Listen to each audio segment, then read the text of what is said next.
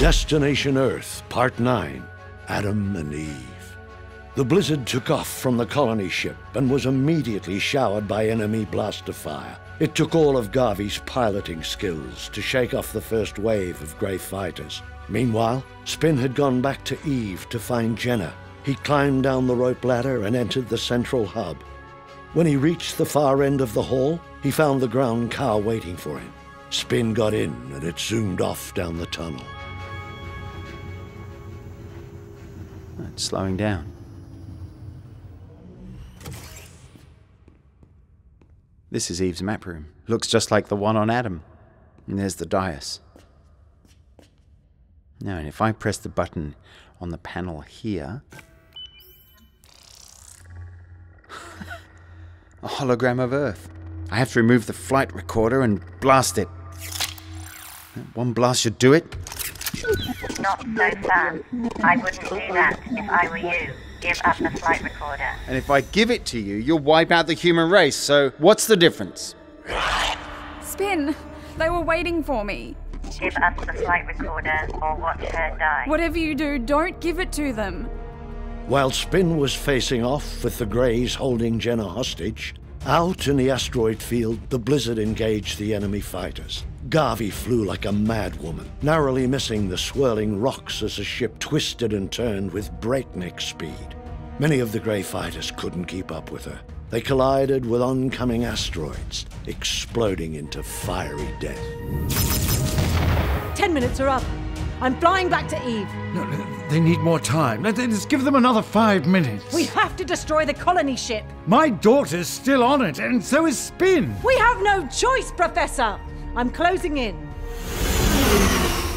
Look, the Greys have already boarded. The scout ship has attached itself to Eve's hull. There is still a chance. If Spin and Jenna aren't dead already, they're in the Greys' hands now. I won't let you destroy the ship. There is no time to argue. I'm aiming my missiles. Uh, You can't. We could have blasted her to smithereens an hour ago, but you wouldn't have it. Now Spin and Jenna pay the price. You're right. It's all my fault. I'm sorry. I'm firing. Now! No! What are you doing? You pushed me!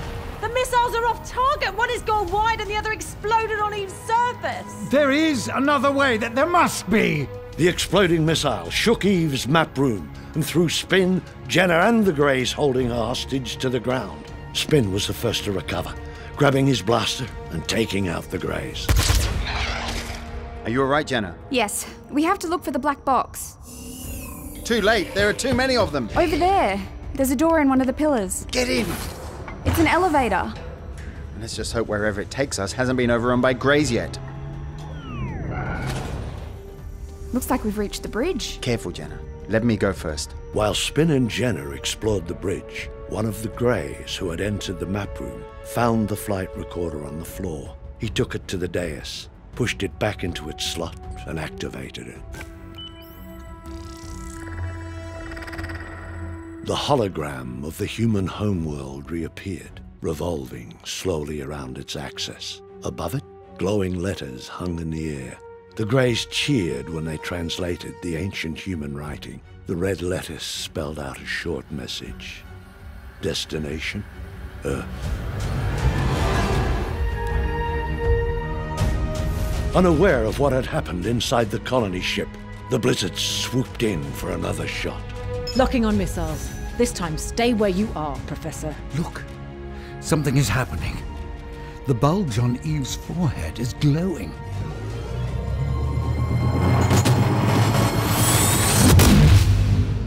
Eve has jumped into hyperspace.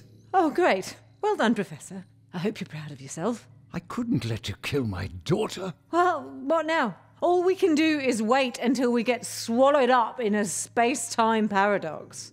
We're still here.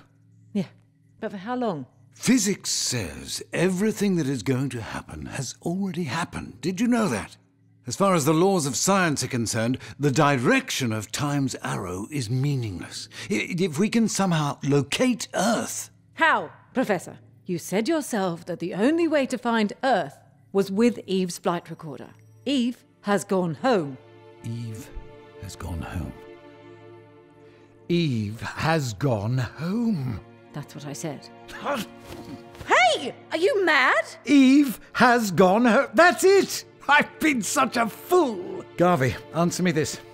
Why did we find Eve floating in outer space and Adam on the surface of a planet? I guess Eve must have had a malfunction and broken down. And, and what about Adam? Adam crashed on some planet. Did you see any evidence that Adam crashed? Was the hull damaged? Surely the, the ship would have been ripped to shreds if it had crashed. What are you getting at? Adam didn't crash. Adam landed. Adam went home. What do you mean? Adam completed his mission. He jettisoned all of his colony pods and went home, possibly to, to load up on a second batch of colony pods. You mean Adam went back to Earth? Precisely. That's why the flight recorder was wiped. He completed his journey. The, the recorder was automatically reset for the next flight, a flight which never took place. What are you saying? Aden is Earth. Well, think about it. According to the creation myth, Adam and Eve came from a place called Eden. Eden? Aden? The names are practically identical. Eve broke down during her mission, but Adam returned home. How can you be sure? Well, I'm not, but there is a simple way to find out. Set a course for Aden.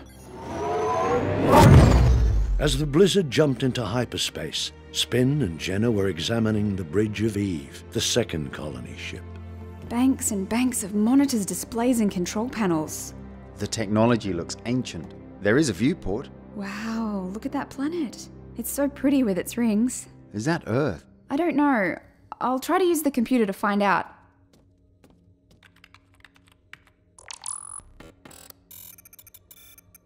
These controls are ancient, but I think I'm getting the hang of them.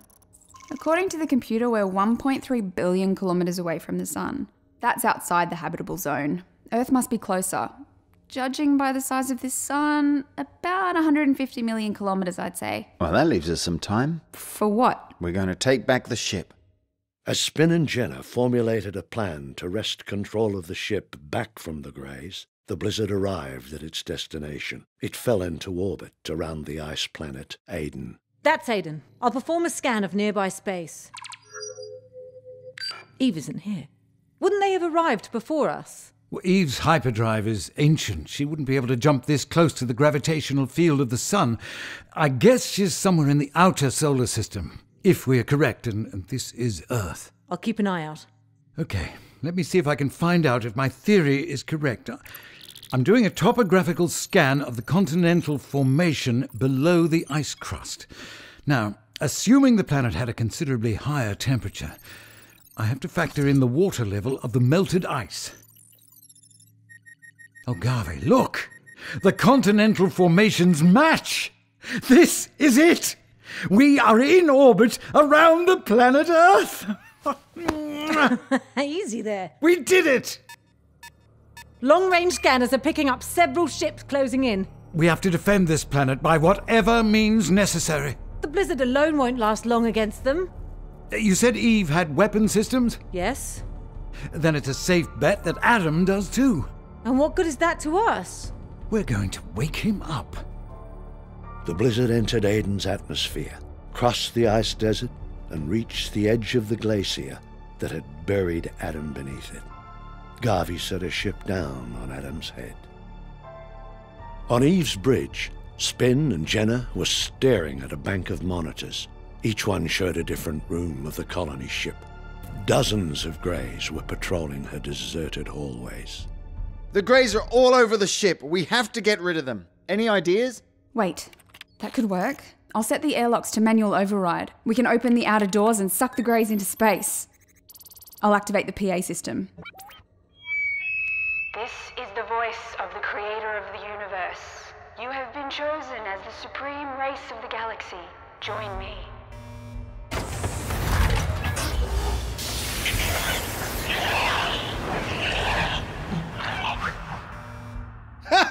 It works! The Greys are tumbling out of the airlocks. That was so much fun. Remind me never to get on your bad side.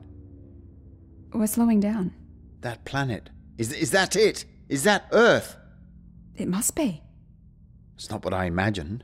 Looks like it's covered in ice. You won't believe this, but it's Aiden. What? It's definitely Aiden, the planet where we found Adam. A ship has arrived. I can see it. Hello, Mommy. It's the Tekran Noth, the grey mothership. A loading ramp is opening. It's releasing some sort of big vessel. That's weird. There's a microwave swarm around the sun, What is a microwave swarm? an energy collection grid. Satellites are positioned around the sun to collect its energy right at the source. See, they're forming a network of beams around the star. They are sending an energy beam to that big vessel that emerged from the mothership. Probably some sort of relay station. It collects the energy beam from the microwave swarm. Look, now the mothership is releasing six more satellites. The relay station is sending the energy beam from the sun to the six satellites. Interesting. They're forming a hexagon of energy. It looks like a window.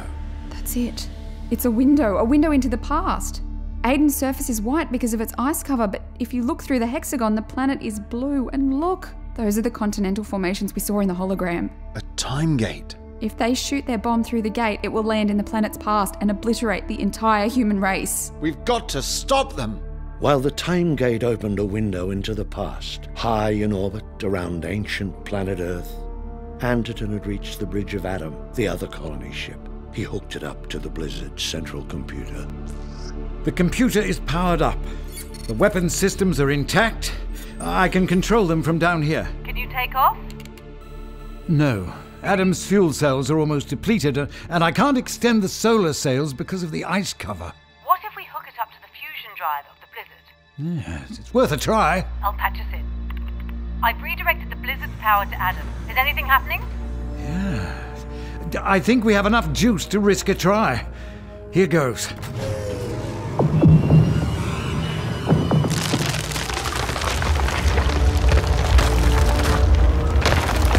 It's working. We're lifting off. We've left the atmosphere. I'll extend the solar sails.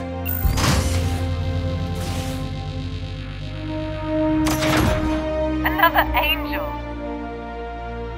Having unfolded his wings, Adam soared around the planet, looking for the grey menace that loomed on its far side. Would our heroes successfully defend the human homeworld? Tune in next time for the final episode of Destination Earth.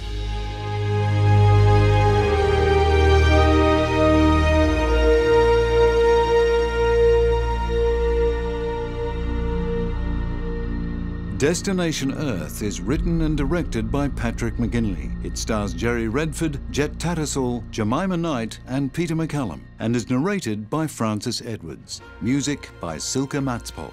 It was recorded at Sydney Sound Brewery by recording engineer John Hresc. If you enjoy Destination Earth, please tell your friends about it and like and subscribe in your podcast app of choice. Reviews and comments are very much appreciated.